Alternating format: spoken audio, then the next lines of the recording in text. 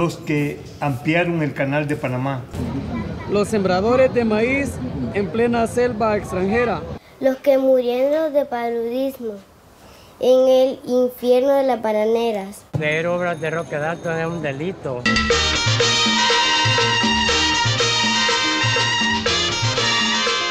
El quehacer político de nosotros era cambiar. Tapizaron San Salvador como que estas caras, como que si eran las caras de los asesinos, que éramos nosotros. Y por cierto, no habíamos salido tan feos, y las muchachas decían, que qué bonitos los asesinos. Si Roque firmaba admitiendo que había recibido entrenamiento, inmediatamente el, el, Departamento de Estado ordena la invasión porque aquí está la prueba, miren, estos hombres están subvistiendo la democracia y Roque hubiera sido señalado como el delator. Entonces Roque no se prestó a eso y estaba esperando que lo mataran cuando vino el terremoto. Dejando su familia, dejando sus hijos, sacrificándolo todo, fue a dar su vida. Cuando sepas que he muerto, no, pronuncies mi nombre. Desde la oscura la tierra, vendría, por tu voz.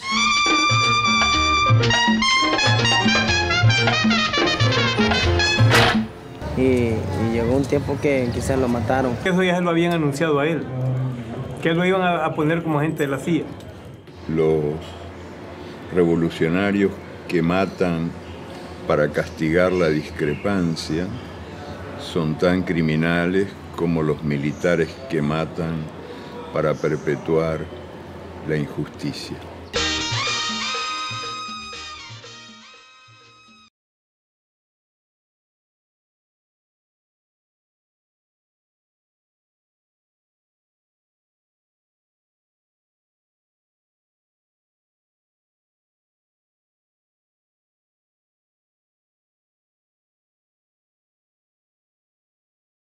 Desde la Biblioteca Nacional.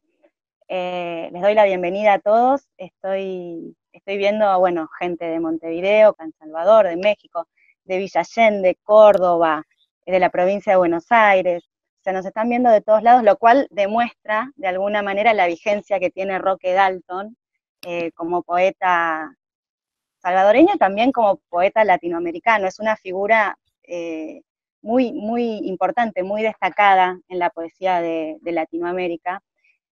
Eh, quiero agradecerle a Ana da Costa, antes que nada, de la Biblioteca Nacional, porque gracias a ella se pudo coordinar eh, toda, digamos, el COVID nos agarró a todos eh, y nos puso en una instancia de tener que acomodarnos a la tecnología y a nuevas formas de transmitir lo que se iba a transmitir desde otra forma, que era en las salas de la Biblioteca Nacional y que la gente pudiera ver el documental en nuestras salas y después sí hacer una charla con la presencia de la gente y de los protagonistas. Eh, tal vez se pregunten eh, por qué está involucrada la Embajada de Austria en un evento sobre Roque Dalton. Pues bien, eh, el año pasado la Embajada de El Salvador nos preguntó si queríamos hacer una actividad sobre este poeta salvadoreño, dado que contamos con una maravillosa película eh, de una directora austriaca. Además, eh, la Biblioteca Nacional em, se mostró desde un principio muy dispuesta eh, a colaborar y exhibir la película en sus salas. De hecho, el COVID nos sorprendió con todo armado. aceptamos el desafío de modificar nuestro trabajo cultural y llevar la cultura a sus casas en lugar eh, de a los cines. Y sumamos así nuestro ofrecimiento em, de la película Roque Dalton, Fusilemos la Noche, al encuentro de cine europeo coordinado por la delegación de la Unión Europea en Argentina. En este sentido, eh, les quiero agradecer a la delegación de la Unión Europea por organizar esta magnífica, esta magnífica actividad para sortear con creatividad eh, eh, y de manera productiva estos tiempos tan difíciles. A la Biblioteca Nacional y en especial a Cecilia Romana, quien asume hoy el rol de moderadora, em, y a la Embajada de El Salvador, con Eduardo Cardosa y José Flores, por su colaboración. Pero sobre todo a dos personalidades hoy acá presentes, espero que, estén presentes, eh, pero sé, sí, eh, Juan eh, José Dalton, hijo de Roque Dalton, y Tina Laish, la directora de la película. en realidad, en primer lugar, quisiera agradecer, bueno, a la Embajada de Austria, a través de su embajador, a la Biblioteca Nacional también, Mariano Moreno, por coordinar esta actividad, y obviamente a Tina Lish, quien es la creadora del documental que ahora nos convoca, y principalmente ¿no? a Juan José, hijo de Roque Dalton, y quien actualmente es el director del periódico digital Contrapunto de El Salvador. Y bueno, a ti Cecilia Romana también por coordinar este panel, muy interesante la verdad, que, que espero que sea muy fructífero para todos los que, los que lo están viendo. Y bueno, agradezco realmente a toda la audiencia que por lo que estuve leyendo en el chat es muy variada. Eh, hay gente desde San Salvador, en El Salvador, Montevideo, en todas las partes de, Argentina y eso me llena muchísimo de emoción porque eso implica que la figura de Roque Dalton o el legado de Roque Dalton sigue, sigue muy vigente eh, a nivel mundial. Es por eso que quizá Roque Dalton probablemente sea el escritor salvadoreño como más importante que tenemos en nuestro país. Es un, bueno, esto es muestra, ¿no? De que, que, Roque de Alto tiene una proyección internacional muy importante.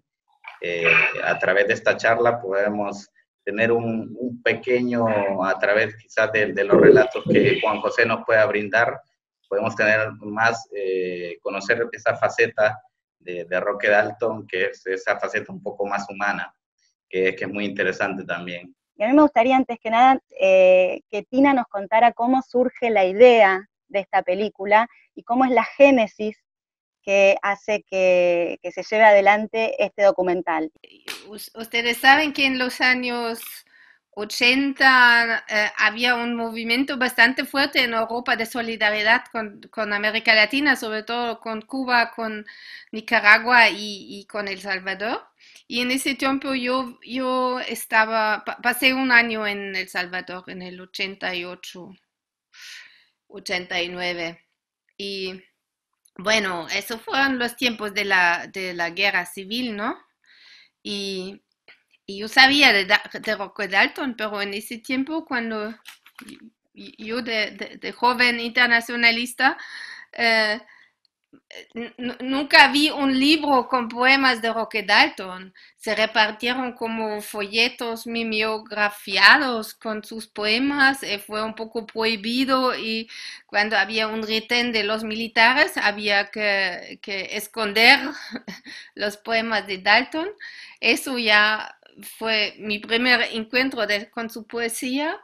Y también que se contó eh, sobre, sobre su destino, o sea, no se habló muy, muy abiertamente, pero entre los compañeros con quienes estuve, sí se sabía que lo habían matado sus propios compañeros, o de, de, pronto era la CIA, o no se sabía exactamente, y siempre me, me movió mucho.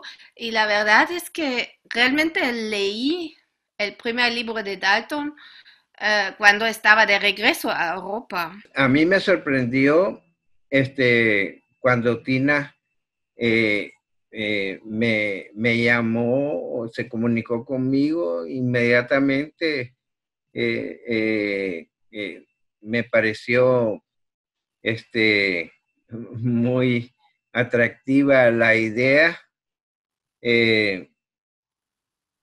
porque no, no, hay, hay varias gente que ha querido hacer eh, eh, películas sobre mi padre, ¿no? Pero em, se enfrentan eh, con, con un nivel de dificultades grandes. Este, en primer lugar, por, porque no saben cómo comenzar a hacer un, un proyecto eh, de la vida de Roque Dalton cuando Roque, Roque Dalton e, es, es, eh, es hasta yo eh, lo puedo decir, un, un, personaje muy, muy polémico.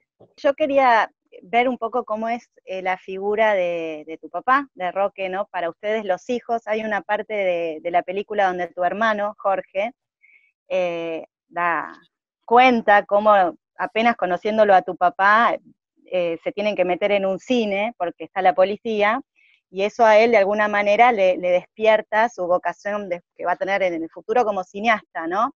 A vos también te despertó algo y a tu hermano eh, Roque, Antonio, evidentemente lo llevó por una línea que hizo que terminara sus días como terminó sus días.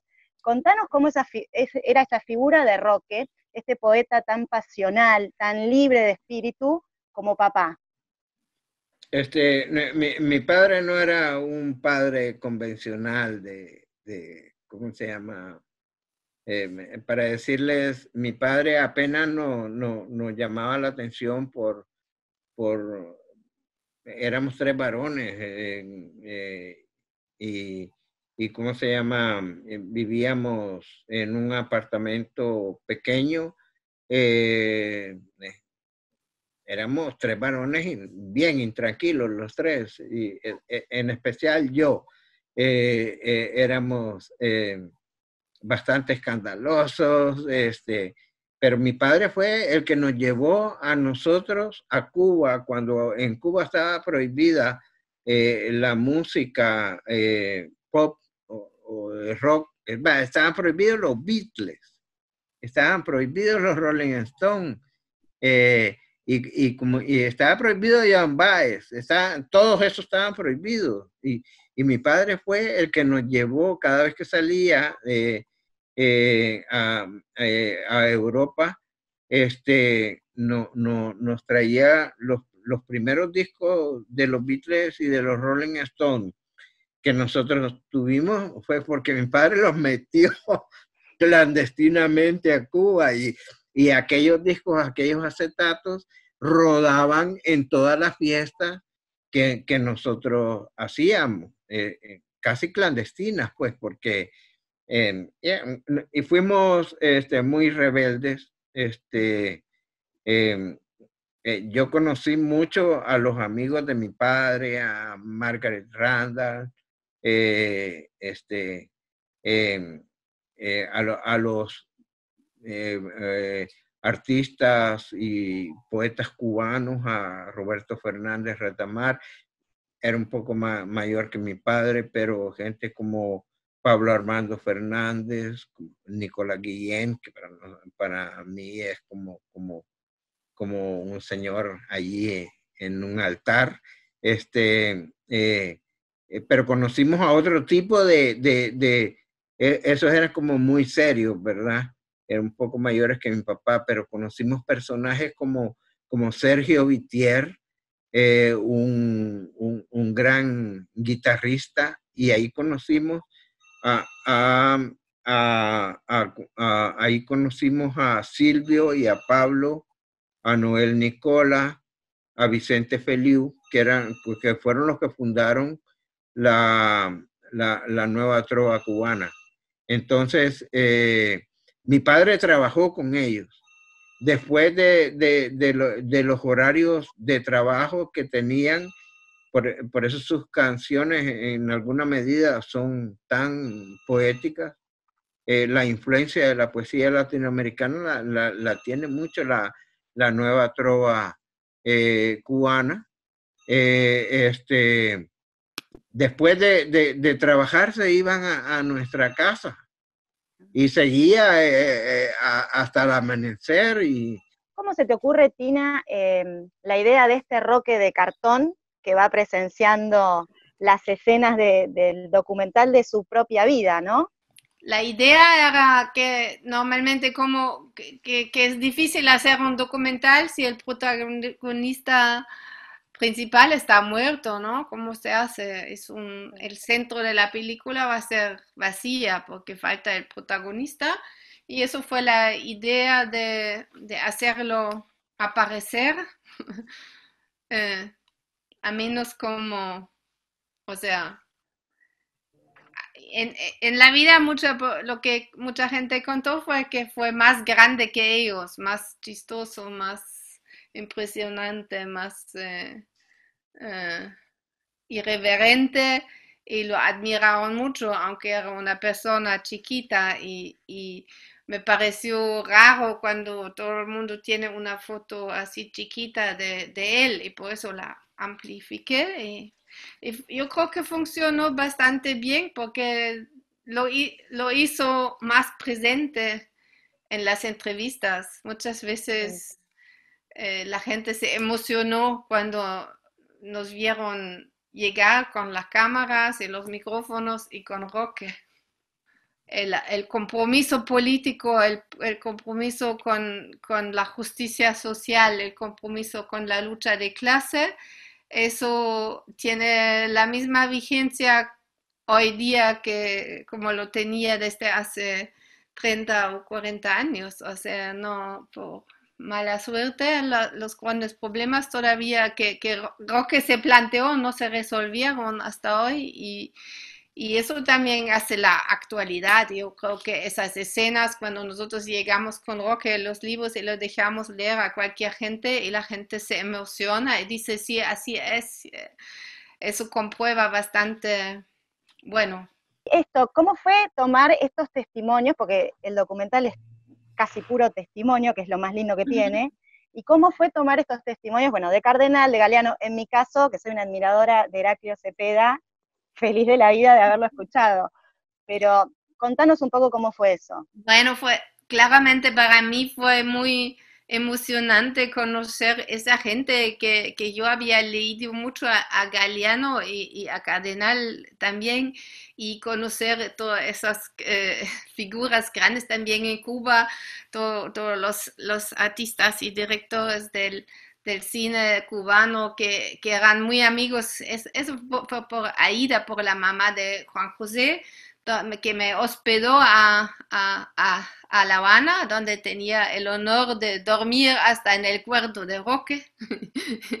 y, y, y, la, sí, y, la mamá de Juan José, eh, Aida, la, la, esposa de Roque Dalton me presentó toda esa, toda esa eh, los amigos de Roque en, en, en, La Habana. Y fue tremendo, ¿no? Un, un honor, tremendo que hablaron conmigo y que compartieron historias mucho más de lo que usted sabe, el, documental es, es, menos de una hora y media y, tengo con, con, con, con cada de esas personas hablé una hora, dos horas y tengo materiales muy importantes también porque, porque son testimonios eh, de gente que muchos de ellos murieron en los... Claro. Los, ¿Sabes, Tina, que yo cuando veía esos testimonios pensaba y decía, seguro que ella debe tener grabado, sobre todo Cardenal, que es bastante corto, digo, debe tener grabado sí. mucho más que habló. Sí, claro. En algún momento lo va a mostrar y debe ser muy interesante porque bueno, es obligatorio para una película acotar y vos te tuviste no, que haber acotado. Esos son mis deudas en, uh, de, uh, frente a la familia de Dalton y frente al Museo de la Imagen y de la Palabra en San Salvador, que está coleccionando um, uh, la, la, memoria histórica de El Salvador y les debo todas esas entrevistas editadas, a menos un poquito. Cuando haces que el, que el policía lea eh, un poema de Roque es bastante, es bastante fuerte, ¿no? Dado que el contexto militar o policial fue lo que lo llevó a la muerte, ¿no? Y la forma en que se relee ese poema. Es un poco raro porque el policía que lo lee es uno de los ex guerrilleros que después de los acuerdos de paz se um, incorporaron a la, a la policía. O sea, él, ese, ese poema que lee, que trata también de la tortura, él lo vivió, pero no como policía, sino como tortura, guerrillero torturado. Yo les quería contar eh, que yo hace poco entrevisté al director actual de la Policía Nacional Civil y entonces eh, le contaba, le contaba eh, incluso parte de lo que, eh, del documental que Tina había filmado allí, y, y, entonces él, él, él, me dijo eh, que eh, en el Castillo Negro, que además el Castillo Negro tenía, es ahora la Dirección Nacional de, de, de, la Policía Nacional Civil del Salvador, pero la, el sótano donde tenían las cárceles clandestinas, eso lo, rellenaron de, de, cemento eh, un tiempo después eh, y, no existe más eh, e, esas celdas clandestinas. E incluso hay policías, yo he conversado con varios policías que no conocen que, allí en, los sótanos torturaban y, mi padre había estado preso. Hace como unos cuatro años hicimos un testimonio a uno que fue carcelero de mi padre y que cuenta un poco cómo, cómo era, eh, cómo fue su función de carcelero y cómo fue que conoció a Roque Dalton eh, siendo él el carcelero y mi padre preso allí. Entonces, eh, el, director de la policía cuando yo le conté lo del documental de Tina y le conté que hay fotos eh, de mi papá allí en, en, en, ese castillo negro, eh, y hay fotos de, de, mi mamá, porque a mi mamá también la, la capturaron y la llevaron allí, eh, con, le pusieron de muestra los libros que decían que eran la, propaganda comunista que les habían capturado, que les habían encontrado granadas y fusiles, y realmente era mentira, era cosas que, los policías le pusieron para sacar la foto y hacer el, eh, como que habían capturado a un gran terrorista. Eh, eh, entonces, eh, yo, el, eh, salió del de, el propio director de la policía actual diciendo nosotros, bueno, eh, allí en el patio lo, lo, hemos acondicionado para que se hagan veladas culturales. Y yo leí por ahí que una de las acusaciones que se hace contra tu padre cuando deciden fusilarlo es que era un agente encubierto de la CIA y que eso puede haber salido justamente de ese libro. El tema fue eh, que en el seno de la guerrilla del Ejército Revolucionario del Pueblo, este, eh, había una confrontación política entre un grupo militarista eh, y, un grupo que era más político, intelectual y que perseguía que, que la, la, lucha antidictatorial en El Salvador eh, fuera una lucha amplia involucrando al movimiento popular y, entonces, pero los militaristas eh, decían que no, que eh, todo se iba a resolver con la insurrección y este grupo militarista era el que estaba, digamos, como en la cúspide, eran los que tenían el, el mayor poder. Y entonces ellos eh, deciden eh, terminar la confrontación eh, eliminando a los, a los cabecillas de la, de la otra facción, que era la, la facción política y que prácticamente era mi padre el que, el, que la encabezaba, ¿no? Cuando nosotros hicimos el documental todavía no teníamos esos documentos descalificados de la, de la CIA. Aparecieron después, poco después de la, del, del estreno del documental y comprobaron exactamente lo que dice la gente en la película, ¿no? Que, que realmente eh, tu papá no colaboró nunca, pero siempre hay algunos, algunas cosas que, que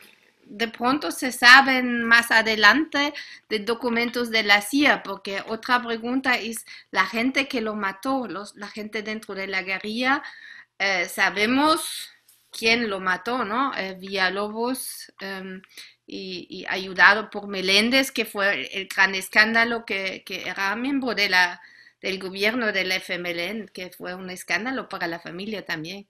Juan, Tina, se nos está acabando el tiempo. Hay un montón de preguntas que nos están haciendo eh, sobre el vínculo de Roque Dalton eh, con Cortázar, sobre la relación de la silueta de, Dalton de cartón con el siluetazo argentino, que es una práctica artística que tiene que ver con, con el tiempo del proceso nuestro. Pero bueno, esta conferencia da para, tres conferencias más. Eh, Mariana, no sé si nos querés contar algo más y por ahí hacemos otra, no sé.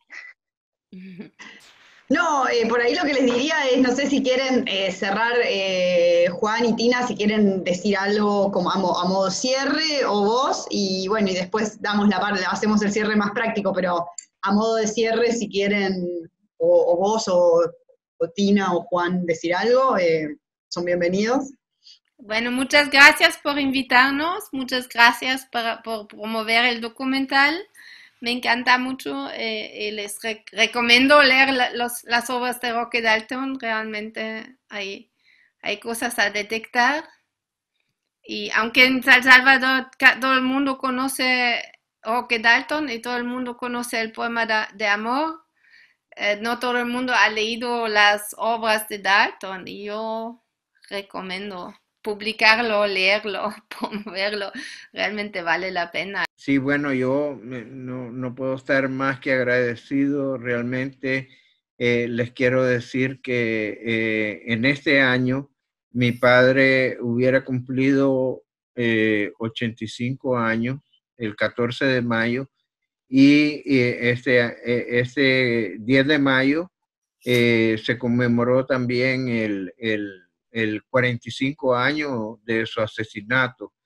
Y, yo realmente, en medio de, esta dramática pandemia, eh, es increíble en la cantidad de actividades que he participado, como la que estoy participando ahora, y que de, de hecho eh, eh, se los agradezco muchísimo. Muchas gracias a todos.